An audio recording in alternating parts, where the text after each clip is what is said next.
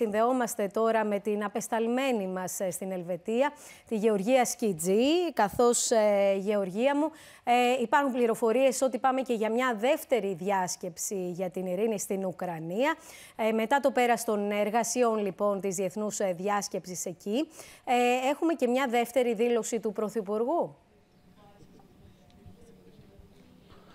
Ναι, ο Πρωθυπουργός σήμερα έκανε την παρέμβασή του στην ολομέλεια της δεύτερης ημέρας των εργασιών της ε, διάσκεψης, αλλά βεβαίως συμμετείχε ε, και στην ομάδα εργασίας για την επιστηστική ασφάλεια. Αυτό που αξίζει να τονίσουμε είναι ότι στην παρέμβασή του στην Ολομέλεια επισήμανε ότι τα σύνορα δεν μπορεί να αλλάξουν όπως είπε με τη βία. Θα πρέπει από όλους να γίνονται σεβαστές οι διεθνείς συνθήκες, επανέλαβε ε, ο Πρωθυπουργός, ενώ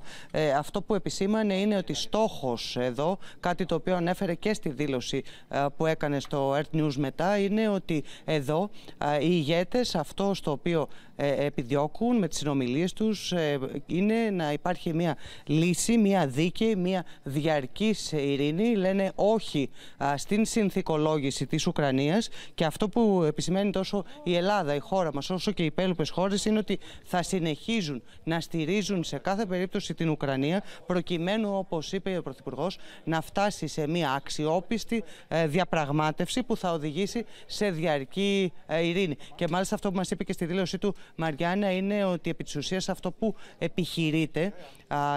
και έγινε και εδώ στην Ελβετία είναι να είναι πιο ενισχυμένη η θέση του Προέδρου της Ουκρανίας, του κυρίου Ζελένσκι, στην, ε, με στόχο ακριβώς αυτή τη διαπραγμάτευση για την ειρήνευση. Να σας πω επίσης ότι ο Πρωθυπουργός ανέδειξε την κρισιμότητα της παγκόσμιας ε, εφοδιαστικής αλυσίδας, να υπάρχει ασφάλεια, εξέφρασε μάλιστα την ικανοποίησή του για το γεγονός ότι γίνεται ειδική αναφορά στο κοινό ανακοινωθέν της ε, Συνόδου εδώ για το θέμα της ασφάλειας της ναυσιπλοείας. Μάλιστα αναφέρθηκε στην παρέμβασή του και στην πρόσφατη επίσκεψη που έκανε στην Οδυσσό, που εκεί όπου ε, ήταν μαζί με τον πρόεδρο της Ουκρανίας, θύμισε ότι εκείνη τη στιγμή είχε γίνει και η πυραυλική επίθεση, θέλοντας να κατα καταδείξει και με αυτόν τον τρόπο ότι θα πρέπει να προστατευτούν, να υπάρχει ασφάλεια στις υποδομές της Ουκρανίας, καθώς αυτό έχει το γεγονός της καταστροφής των υποδομών έχει πολύ μεγάλες προεκτάσεις. Προεκτάσεις που, όπως καταλαβαίνουμε, συσχετίζονται απόλυτα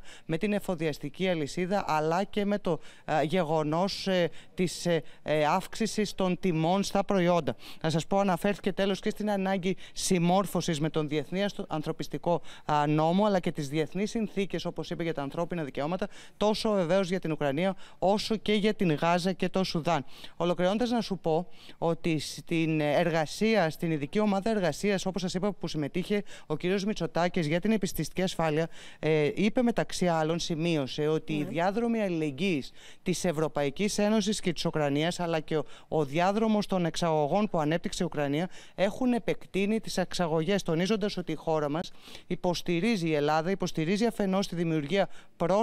πρόσθετων διαδρόμων για τη διευκόλυνση της μεταφοράς των ουκρανικών αγροτικών προϊόντων, αλλά βεβαίως από την άλλη πλευρά υποστηρίζει και έργα για την ενίσχυση της δυναμικότητας, όπως είπε, των διαδρόμων αλληλεγγύης για την απευθείας πρόσβασή του ε, στο Αιγαίο. Το οποίο έχει και την ε, δική του σημασία. Να σου πω ότι, ωστόσο, με το βλέμμα και αύριο στις ε, Βρυξέλλες ναι. και δεδομένου ότι έκανε και συναντήσεις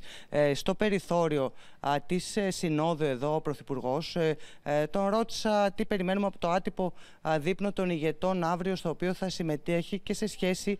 με το αν τελικά θα κλειδώσουν οι θέσεις ε, για τα ευρωπαϊκά αξιώματα που αναμένεται. Και όπως είπε ε, ο Πρωθυπουργός, μας είπε ότι είναι αισιόδοξος ότι ε, τελικά θα, θα οριστικοποιηθεί αυτό, δηλαδή το ποιο πρόσωπα θα αναλάβουν τα ευρωπαϊκά αξιώματα, ναι. τονίζοντας και μάλιστα και με κοινή, όπως είπε, αποδοχή από τα κράτη-μέλη και μάλιστα, και μάλιστα αναφέρθηκε και στην υποψηφιότητα της κυρίας Ούρσουλας Φόντερ Λάιεν, προκειμένου να παρατείνει, όπως είπε, την θητεία της στην Ευρωπαϊκή Επιτροπή, κάτι που στηρίζει ε, η χώρα μας. Μάλιστα. Γεωργία Σκιτζής, ευχαριστούμε πολύ για το αναλυτικό ρεπορτάζ. Πάμε σε αυτό το σημείο να ακούσουμε τι είπε ο Πρωθυπουργός στο Earth News.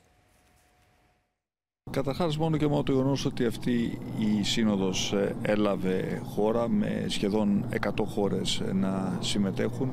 συναντά μια σημαντική παγκόσμια επιβεβαίωση της ανάγκης να επιτευχθεί επιτέλους μια δίκαιη και βιώσιμη ειρήνη ε, σε αυτόν τον ε, πόλεμο.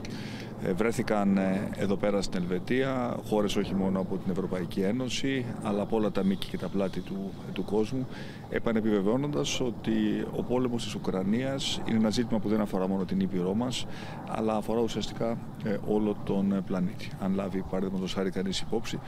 το γεγονός ότι ο πόλεμος αυτός έχει προκαλέσει μεγάλες διαταραχές στην εφοδιαστική αλυσίδα και στις τιμές βασικών τροφίμων. Αντιλαμβάνεται κανείς γιατί, παραδείγματος χάρη, έχει μεγάλη σημασία αυτό που γίνεται στην Ουκρανία, ε, για την Αφρική, για χώρες οι οποίες ε, δοκιμάζονται και από τις επιπτώσεις ε, της κλιματικής κρίσης. Είναι επίσης εξαιρετικά σημαντικό ότι όλες οι χώρες οι οποίες συμμετείχαν στη διάσκεψη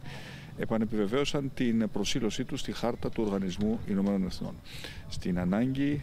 οι διαφορές να λύνονται με επίκληση του διεθνούς δικαίου και στο αναφέρετο δικαίωμα το οποίο έχει κάθε χώρα στην εδαφική της κυριαρχία και στο γεγονός στην καταδίκη της αλλαγής των ε, συνόρων με οποιοδήποτε ε, τρόπο της ε, ισχύους ουσιαστικά του δυνατού εις βάρος του πιο αδύναμου. Νομίζω ότι αυτή είναι μια πολύ σημαντική θα έλεγα επιβεβαίωση αυτών των βασικών αρχών που τελικά μπορούν να αποτελέσουν και το μόνο οδικό χάρτη για μια δίκαιη και βιώσιμη ε, ειρήνη στην Ουκρανία. Και βέβαια δίκαιη και βιώσιμη ειρήνη δεν μπορεί σε καμία περίπτωση, όπως είπα και στην παρέμβασή μου, να σημαίνει πρακτικά συνθηκολόγηση της Ουκρανίας. Γι' αυτό και η Ελλάδα, ε, όπως και όλες οι άλλες ευρωπαϊκές χώρες, εξακολουθούν να στηρίζουν την Ουκρανία, ώστε να μπορεί να προσέλθει κάποια στιγμή στο τραπέζι των διαπραγματεύσεων από μια θέση αυτοπεποίθησης και όχι από μια θέση αδυναμίας. Είχα την ευκαιρία στις παρυφές ε, αυτής της σημαντικής συνόδου να συναντηθώ με αρκετούς ε, ομολόγους μου, όπως ξέρετε μαζί με τον Πολωνό Πρωθυπουργό έχουμε αναλάβει χρέη άτυπων διαπραγματευτών για λογαριασμό του Ευρωπαϊκού Λαϊκού ε, Κόμματος, ώστε να καταλήξουμε στην κατανομή των σημαντικών θέσεων ευθύνης. Ναι, είμαι αισιόδοξος ότι αύριο το βράδυ θα μπορέσουμε στο δείπνο, στο άτυπο δείπνο των γητών να καταλήξουμε σε ονόματα τα οποία θα είναι αμοιβαία ε, αποδεκτά, ξεκινώντας προφανώς με την υποψηφιότητα της κυρίας Βαντελάιν για να συνεχίσει να είναι πρόεδρος της Ευρωπαϊκής Επιτροπής και για τα επόμενα πέντε χρόνια.